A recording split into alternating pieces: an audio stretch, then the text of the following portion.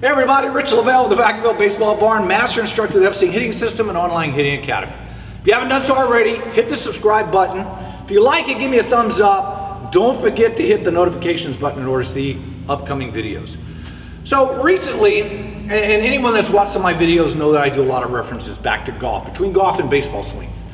And I was watching a, a guy that I really enjoy as far as a, a golf instructor, and this is this correlates along with the way we talk about the, the baseball swing or softball swing.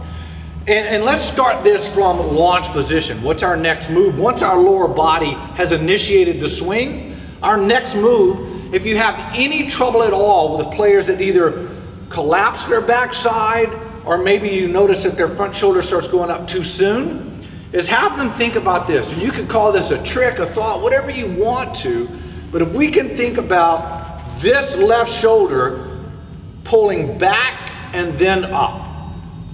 That would be the swing thought. If that's what you're working on, let's say that you have a player that maybe they start their swing a little early before their front foot lands, the shoulder starts coming up. I always tell them, hey, front shoulder down right until, or, until the front foot lands on the ground. And then from here, what you can have them do is the thought or the trick is this shoulder has got to start pulling back and then it'll start pulling up regardless if you think back elbow pushes the front shoulder up or the front shoulder pulls the back shoulder down. That's irrelevant. This is only to help them really tune this in as they begin to pull this left shoulder back, which then does what? Pulls the arms and the hands through, and as my hands start to come through, I know this being the force, this being the mass, it's gonna pull and allow that barrel to travel through.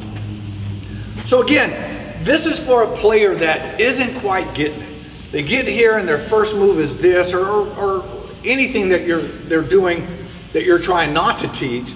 Just tell them to think, hey, I want you to take this point on the back shoulder here and I want you to make this go directly behind you.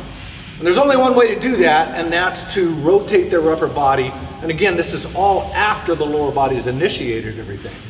Pull through, and then you allow the barrel to come back through like that. Hopefully that helps you out. If you have any questions, comments, ideas, or suggestions on videos, leave them down below. Give me a thumbs up if you like the video, and don't forget to hit the notifications button to receive all future videos.